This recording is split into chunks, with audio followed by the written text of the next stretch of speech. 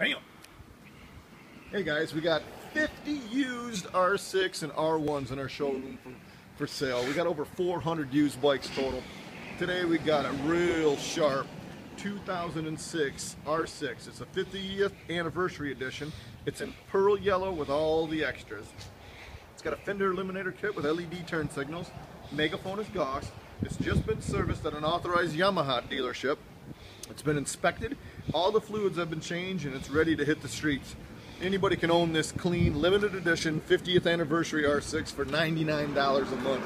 Visit our website, approvalpowersports.com.